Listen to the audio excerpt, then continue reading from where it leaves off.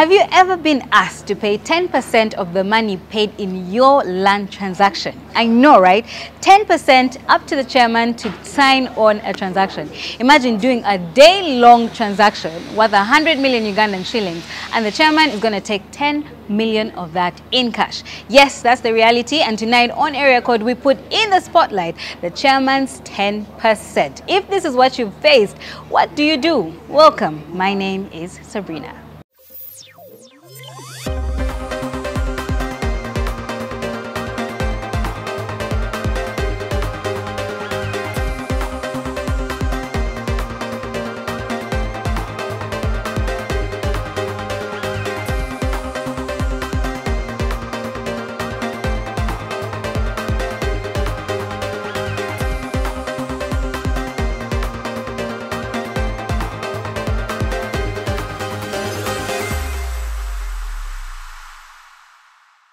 Land transaction fees in Uganda has always continued to fascinate me, and it seems I'm not alone. Chairmen or chairpersons in our villages, they are given authority without salary.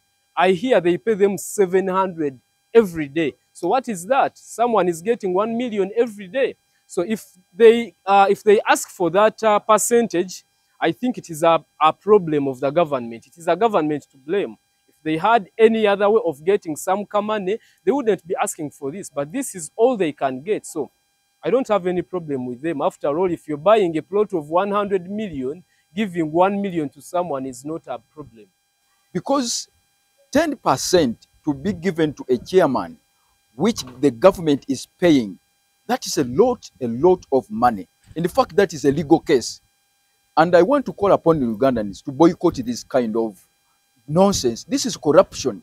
If we are to change our Uganda, we have to start with these people. If you, you are a chairman LOC1 and the government is facilitating you, and in fact, when they make letters, they are paid. Now, it has come to land. They need 10%. That means if I get like four customers, I, I, let me even call them customers. For this case, for God's sake, this is unbelievable this is uh, corruption, and we are fighting corruption. Please, Chairman, uh, LC ones, wherever you are, don't accept to be used by the devil. In Uganda, the process of acquiring land has long been marred by a plethora of challenges ranging from complex legal frameworks to corruption at various levels. Among the many hurdles faced by landowners and buyers alike are the legal fees charged by the local council one, LC1 officials during land transactions. Before we dive into this conversation, the question is, what are the legal fees paid in land transactions? And to help us have this conversation is Mr. Sekanjako Abubekar, who is a lawyer. Welcome to the show. Thank you so much. Yes. Mm. So we're having a discussion about LC1 fees and yes. how they are rampant yes. in land transactions right yes. now. But before we even get into that part of the conversation, let's talk about all the fees that are involved when it comes to land transactions. The fees involved in the land transactions, they, they are quite um, not so many, mm. but um, very important that each and every aspect you have to meet them.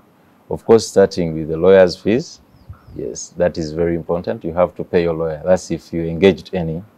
And then secondly, you have to pay the transfer fees. Mm.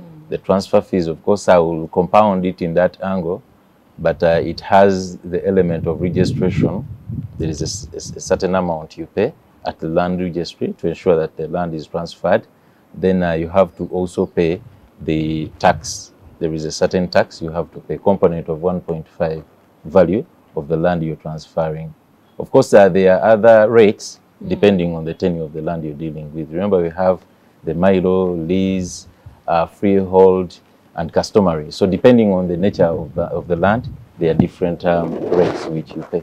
Yes. Um, and of course, now I have I've, I've, just taken you through the loop of uh, of registered land.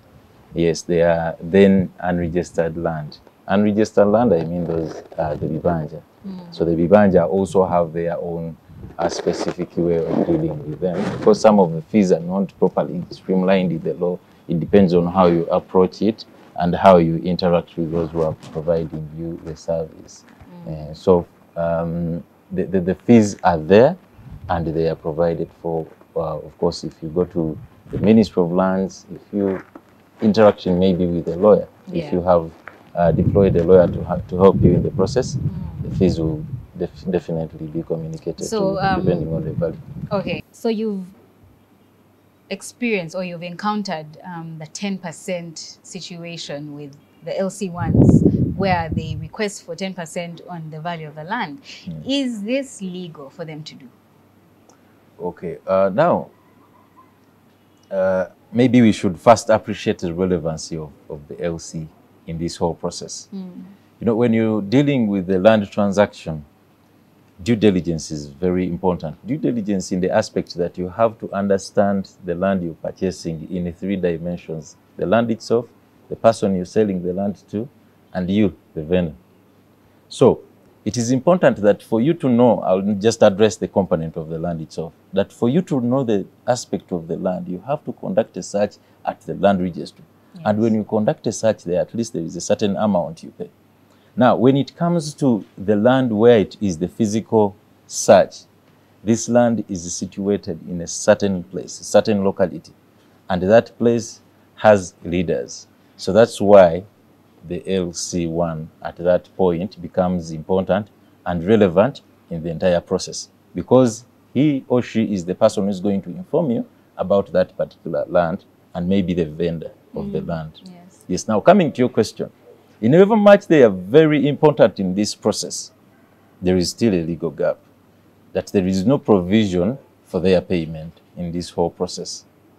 Theirs is a duty that they have to witness on the transaction and, of course, inform you.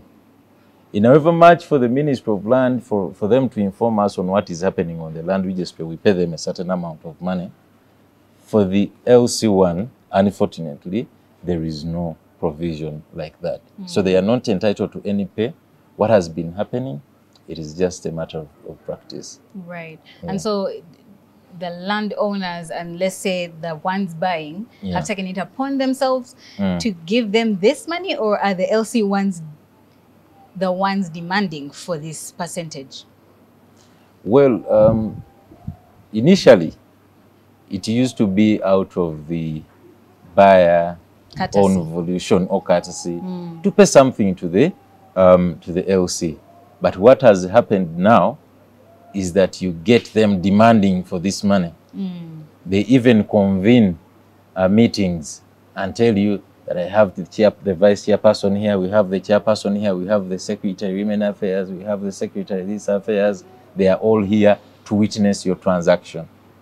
Now you're here, you have come to conduct your your business, and they are telling you, they're introducing you to the entire executive committee. How are you going to leave them there? Yeah. So they now start uh, putting you in a situation where you cannot live without paying them.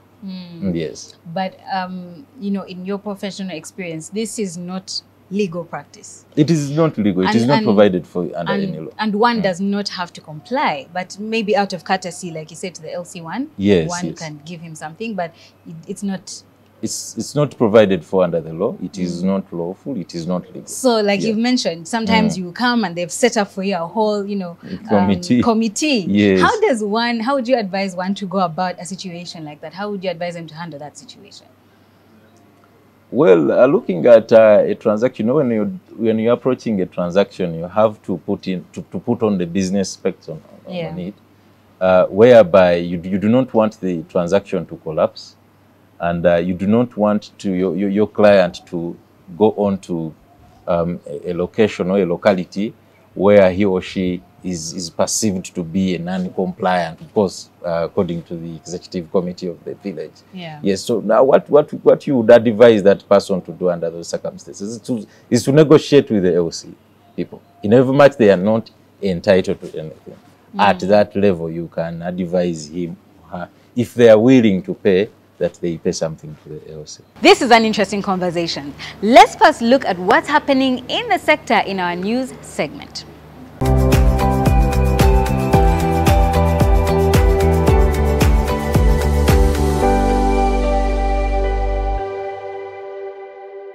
China's struggling real estate developers won't be getting a major bailout, Chinese authorities have indicated, warning that those who harm the interests of the masses will be punished.